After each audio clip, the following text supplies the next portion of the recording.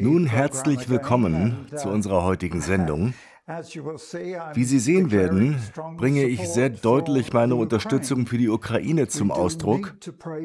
Wir müssen für die Ukraine beten. Die Lage bewegt mich sehr, denn so viele der Gebiete, wo ich evangelisiert habe, vor 30 Jahren, sind jetzt sehr stark vom Krieg betroffen. Jemand schickte mir etwas, was mich daran erinnerte, dass ich vor 28 Jahren in Weißrussland evangelisiert habe. Aber leider geht es den Gemeinden so, insbesondere in der Ukraine, in Kherson, wo sie wissen, dass die Stadt vollkommen umzingelt worden ist und jetzt fast zu einer russischen Stadt geworden ist. Ich hätte dort sein sollen in diesem Jahr, im September, um das 30. Jubiläum der Gründung dieser Gemeinde zu feiern. Der Pastor ist mit seinem Leben davongekommen, uh, zusammen mit seiner Frau und seiner Familie. Also Sie verstehen, warum mich das sehr berührt. Ja, es ist ein ziemliches Wunder Gottes gewesen, dass ich damals die Gelegenheit gehabt habe, in diesen ganzen betroffenen Regionen zu evangelisieren, in der Ukraine.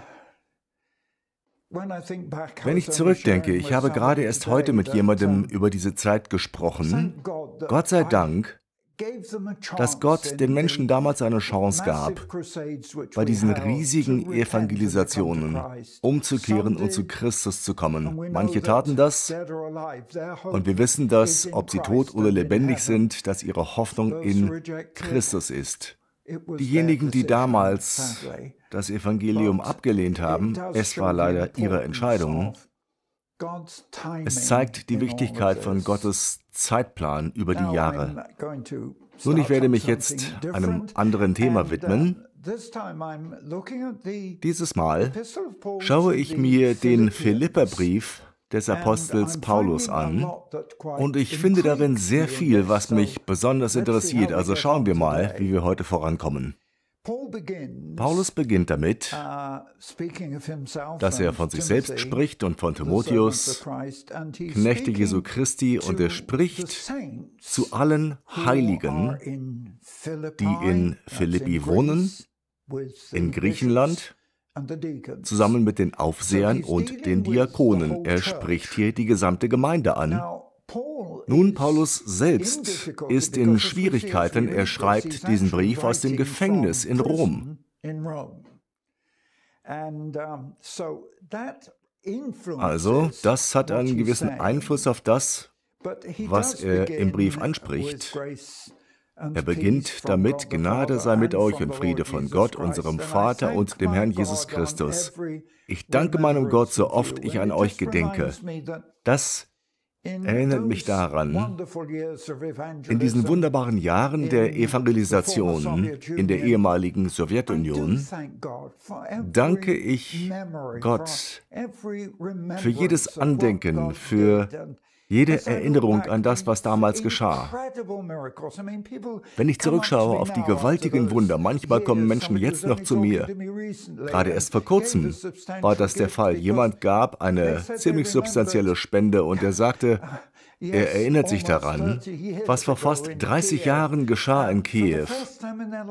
Das war das erste Mal im Leben dieser Person, dass er in praktischer Weise die Wunder Gottes sah und sah, dass Menschen umkehrten. Und in unserem Gespräch sagte er mir erst vor kurzem, so viele Menschen nach vorne kommen zu sehen, die Christus annehmen, hat sein Leben verändert. Also danke ich Gott bei jedem Gedenken an diese Zeit. Dann spricht er davon, dass er betet und sich freut daran, dass sie Gemeinschaft am Evangelium haben. Und dann in Vers 6 spricht er über etwas Lehrmäßiges. Er sagt, weil ich davon überzeugt bin, dass der, welcher in euch ein gutes Werk angefangen hat, es auch vollenden wird bis auf den Tag Jesu Christi. Weil er sagt, dass das geschehen wird, bis Christus wiederkommt, macht offensichtlich, dass er über die Kraft des Heiligen Geistes spricht im Gläubigen. Und das ist so wichtig. Uh, Umso mehr ich das Leben Jesu studiert habe, und das tue ich natürlich als ein Evangelist, desto mehr ist mir klar geworden, welche Kraft und welchen Einfluss der Heilige Geist auf Jesus hatte, auf sein Leben und auf seinen Dienst. Und die Tatsache, dass es selbst auf Jesus zutraf, dass er warten musste, wie die Jünger warten mussten auf den Heiligen Geist, erst zu Pfingsten, um ihren Dienst zu beginnen, so hat auch Jesus selbst seinen kraftvollen Dienst erst begonnen, nachdem er den Heiligen Geist empfangen hatte. Also ist es derselbe Heilige Geist, der in Christus wirkte, der in uns wirken soll. Und dieser Heilige Geist wird, wie es hier steht, der ein Werk in uns begonnen hat, er wird fortfahren, daran zu arbeiten, bis auf den Tag, an dem Christus wiederkehrt. Das ist für mich insbesondere in meinem Alter, Sie wissen, dass ich meinen 90. Geburtstag hinter mir habe, ziemlich bedeutend. Ich arbeite immer noch entweder genauso viel oder sogar mehr als früher, als vor 20, 30 Jahren. Und das liegt an dieser Zuversicht, dass der Heilige Geist nicht aufhören wird, in mir zu wirken. Und das ist wirklich eine Herausforderung. Ich höre von Menschen, die in Rente gehen, die kürzer treten oder die sogar ganz aufhören zu arbeiten. Ich habe das absolut nicht vor nachzulassen oder aufzuhören zu arbeiten, denn der Heilige Geist, gemäß dem, was Paulus hier schreibt, wird fortfahren, in mir zu wirken bis zum Ende. Und ich erwarte, die Manifestation des Heiligen Geistes zu haben bis zum Ende, wie immer das Ende auch sein mag, ob der Herr mich nach Hause ruft oder ob ich durch die Gnade Gottes hier sein werde, wenn er wiederkommt. Wissen Sie, das ist etwas Großartiges für mich. Denn wenn wir schon vom Heiligen Geist sprechen, ich wurde buchstäblich mit dem Feuer des Heiligen Geistes getauft, vor so vielen Jahren, vor 75 oder ein paar mehr Jahren. So lange ist das schon her. Aber das Feuer und die Salbung des Heiligen Geistes in mir nach 75 Jahren hat nicht nachgelassen, hat nicht abgenommen. Ich denke, die meisten Menschen würden darin übereinstimmen, dass diese Kraft sogar zugenommen hat. Und das ist der Grund dafür, dass ich so glücklich darüber bin und so gerne weitergehe, weil ich spüre, dass der Heilige Geist weiterhin mit mir sein wird und er wird nicht nachlassen. Und das ist, was Paulus hier verheißt. Und dann fährt er fort und sagt, uh, es ist ja nur recht, dass ich so von euch allen denke, weil ich euch in meinem Herzen trage. Aber er sagt auch, sowohl in meinen Fesseln, denn er war im Gefängnis, obwohl er in einem Großteil der Zeit in seiner eigenen Wohnung leben durfte. Und aus dem Grund, trotz seiner Ketten, trotz seiner Inhaftierung, hat er das Evangelium vorangebracht. Er sagt, sowohl in meinen Fesseln als auch bei der Verteidigung und Bekräftigung des Evangeliums. Also was er erlebt, ist, dass sogar während seines Gefängnisaufenthalts und in seinem gesamten Leben ist sein Leben eine Bestätigung der Kraft des Evangeliums. Und mir gefällt es, mein Leben genauso zu sehen, dass mein Leben eine praktische Demonstration des Evangeliums ist. Vor kurzem sagte mir jemand, du sprichst nicht nur über diese Dinge, du tust sie tatsächlich. Und deswegen habe ich absolut nicht vor, das Tun sein zu lassen. Und dennoch spreche ich darüber, weil ich die Dinge persönlich erlebt habe. Was den Krieg in der Ukraine angeht, so sind die einflussreichsten und die beeindruckendsten Reportagen solche von Menschen, die tatsächlich selbst vor Ort waren. Ich war sehr bewegt vor kurzem, denn es gab ein Interview von einem Fernsehreporter und dem russischen Botschafter in London, den er konfrontiert hat wegen der Gräueltaten in der Ukraine, von denen wir wissen. Aber während der russische Botschafter das abgestritten hat und gesagt hat, das ist alles nicht echt, das ist alles Propaganda, hat dennoch der Fernsehreporter gesagt, ja, aber Herr Botschafter, waren Sie persönlich dort? Wissen Sie, ich war persönlich vor Ort und ich habe die Beweise gesehen. Ich habe die staatlich geprüften und bestätigten Bilder gesehen. Und wissen Sie, so sehe ich die Kraft des Evangeliums in meinem fortgeschrittenen Alter. Ich war dort, ich habe es gesehen, ich habe es erlebt, ich habe es erfahren. Das, worüber ich spreche, ist mir sehr lebendig und sehr real und es ist unbestreitbar, weil ich die Beweise selbst erlebt habe. Und wie Sie wissen, die Tatsache, dass ich zweimal von Krebs geheilt worden bin, bedeutet, ich trage die Beweise an meinem Leib umher. Davon spricht Paulus hier. Aber dann fährt er fort und er spricht über die überströmende Liebe und darüber, dass die guten Dinge bestätigt werden und dass sie erfüllt werden mit den Früchten der Gerechtigkeit durch Jesus Christus. Aber dann setzt er fort in Vers 12. Und das möchte ich aufgreifen und den Vers darauf. In Vers 12 sagt er, ich will aber, Brüder, dass ihr erkennt, wie das, was mir geschehen ist, sich vielmehr zur Förderung des Evangeliums ausgewirkt hat. Das ist schon eine bemerkenswerte Aussage, denn er sagt so, dass in der ganzen kaiserlichen Kaserne und bei allen übrigen bekannt geworden ist, dass ich um des Christus willen gefesselt bin. Also was er hier verkündigt ist, was auch immer in seinem Leben geschieht, Gutes und Schlechtes, beides ist dazu da, das Evangelium zu fördern und auch zu zeigen, welche Kraft das Evangelium hat. Und wenn ich auf mein Leben zurückschaue, ich hatte kein leichtes Leben. Vielleicht sehen mich manche an und sagen, naja, der hat gut reden. Ich habe gelitten. Naja, gut, im Vergleich zu manchen anderen habe ich nicht gelitten bis zum Tod. Aber, wie Sie wissen, habe ich zweimal Krebs gehabt. Beim ersten Mal war ich nur 32 Jahre alt, beim zweiten war ich 70 Jahre alt. In beiden Fällen habe ich Gottes Wort auf den Prüfstand gestellt und ich war entschlossen zu demonstrieren, welche Kraft und Vollmacht das Wort Gottes hat. Und ich blieb standfest im Glauben und weigerte mich, in irgendeiner Form medizinische Hilfe in Anspruch zu nehmen. Und Gott hat mich vollkommen geheilt. Und die Tatsache, dass ich jetzt vor Ihnen stehe und voller Leben und Kraft zu Ihnen spreche, ist der Beweis dafür. Ich habe überhaupt keine Schwäche, die zurückgeblieben ist durch diese beiden Krebskrankheiten.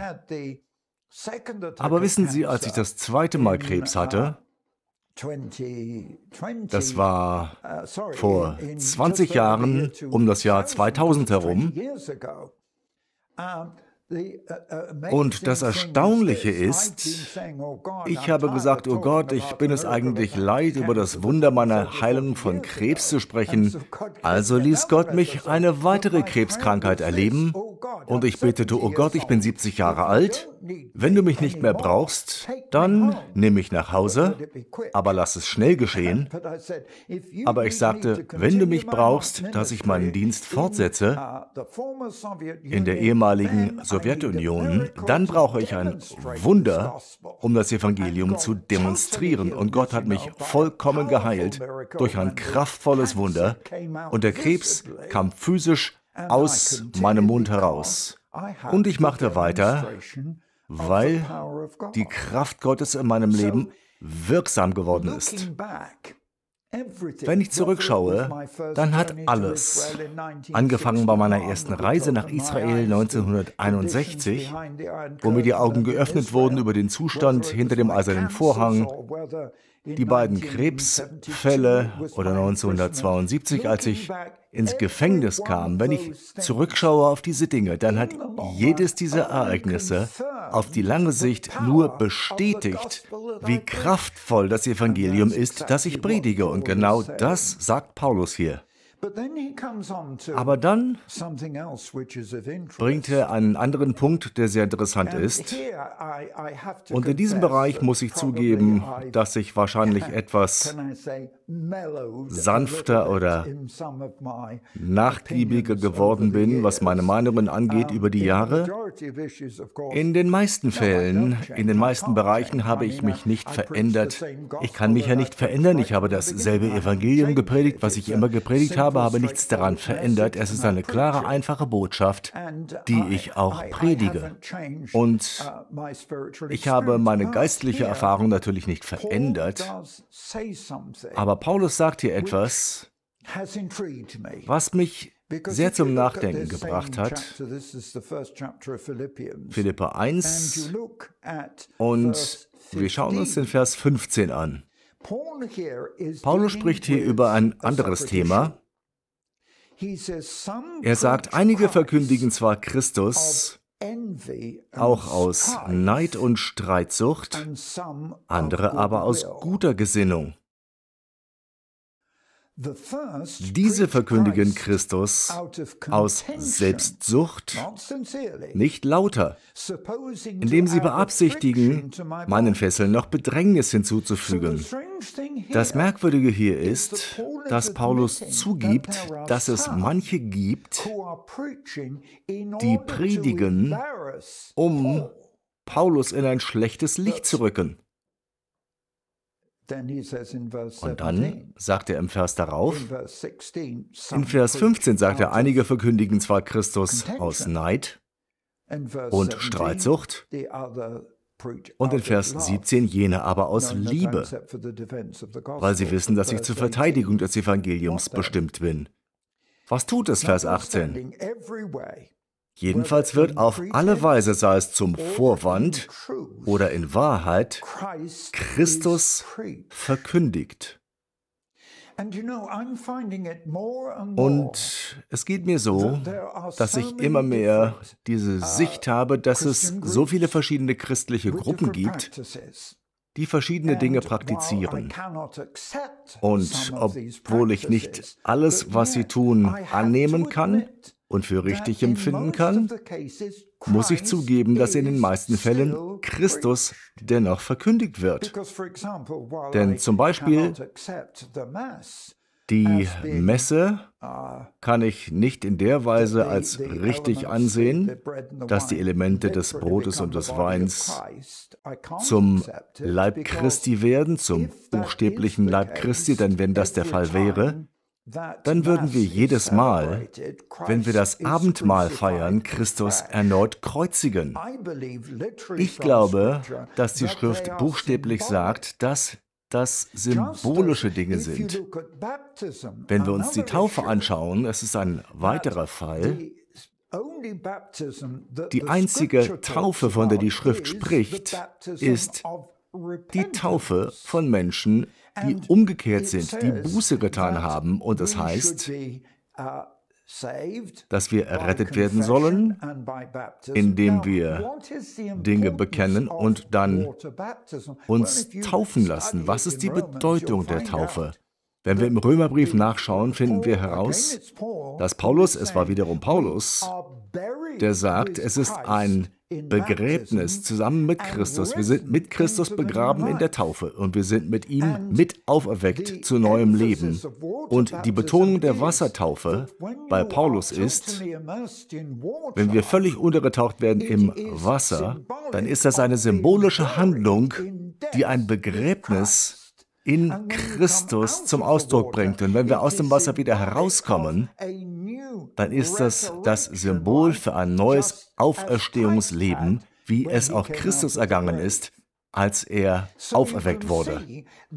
Wir können sehen, dass die Wassertaufe zu unserem Evangelium gehört und es ist eine symbolische Handlung. Dennoch verstehe ich, wenn wir das Abendmahl nehmen und wenn wir das Brot und den Wein zu uns nehmen, dann sind das symbolische Handlungen Der Leib und das Blut Christi werden symbolisch dargestellt. Ich kann nicht glauben, dass das Brot und der Wein sich buchstäblich in den Leib Christi verwandeln, dass daraus Fleisch und Blut wird. Das sind symbolische Handlungen. Und Jesus sagt, tut das so oft, wie ihr das tut, um euch an mich zu erinnern. Also ist der Sinn und Zweck des Abendmahls, dass man sich erinnert an den Tod und die Auferstehung Christi, der für unsere Sünden starb. Und was wir verstehen müssen, ist Folgendes, dass selbst wenn manche Zeremonien nicht in Übereinstimmung mit dem sind, wie ich die Schrift sehe und verstehe, wenn Christus dadurch verherrlicht wird, wenn in alledem Christus verkündigt wird, dann erhebt es Jesus Christus vor den Augen der Menschen. Und wenn wir uns heute die Einstellung von Menschen vergegenwärtigen, die Einstellung der Atheisten, aber nicht nur das, viele Menschen sind so gleichgültig. Was ich vorfinde in den meisten zivilisierten westlichen Ländern, being violently against religion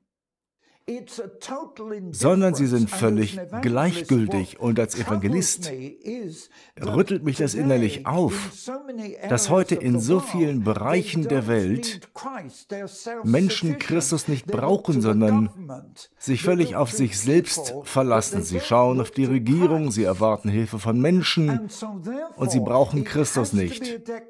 Deswegen muss verkündigt werden, dass Jesus Christus gestorben ist am Kreuz und dass er auferstanden ist. Und das ist für mich sehr interessant. Denn als ich ein Teenager war, gab mein Vater mir ein Buch. Und dieses Buch heißt, Wer hat den Stein bewegt? Man kann das Buch vielleicht heute noch im Internet finden.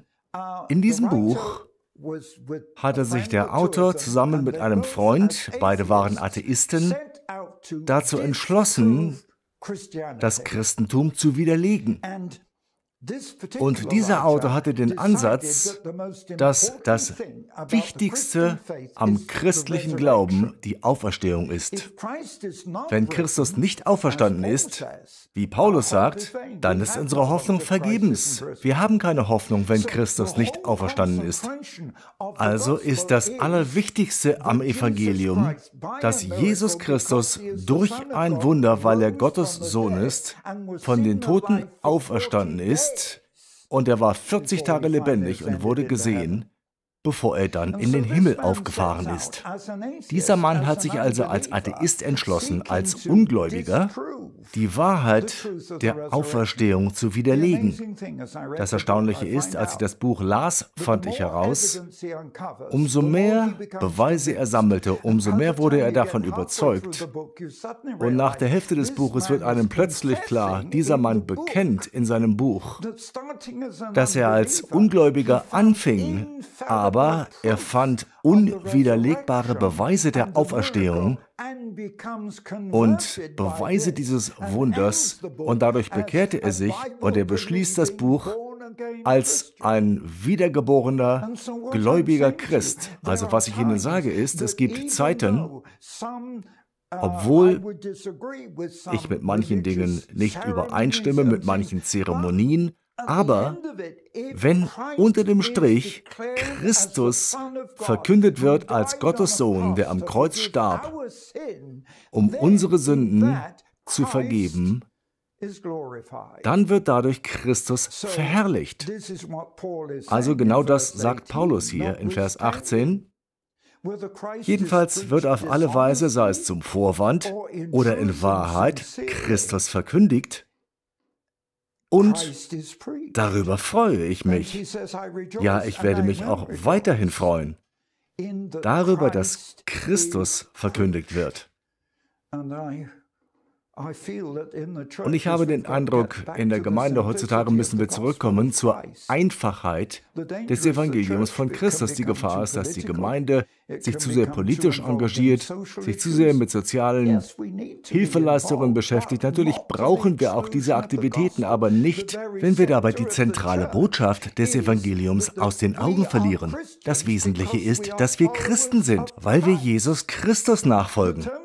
Der Begriff Christen wurde als Hohn und Spott verstanden am Anfang der Gemeinde. Diese Menschen sind Christen, werden Christen genannt, weil sie Christus nachfolgen. Und die Betonung ist, dass wir Jesus Christus nachfolgen. Und was ich tun möchte, ich möchte betonen, Christus muss gepredigt werden. Er ist der Sohn Gottes. Er starb an einem Kreuz, um den Preis für unsere Sünden zu bezahlen, aber er blieb nicht tot, er ist auferstanden. Und die Gefahr ist in der Gemeinde, konzentriert euch nicht hauptsächlich auf den Tod. Wir alle müssen sterben. Aber nur Christus hat den Fluch des Todes gebrochen und ist auferstanden aus den Toten. Und so werden auch wir aus den Toten auferstehen und mit Christus leben in Ewigkeit. Ich muss dieses Thema fortsetzen, wahrscheinlich in meiner nächsten Predigt. Gott segne Sie.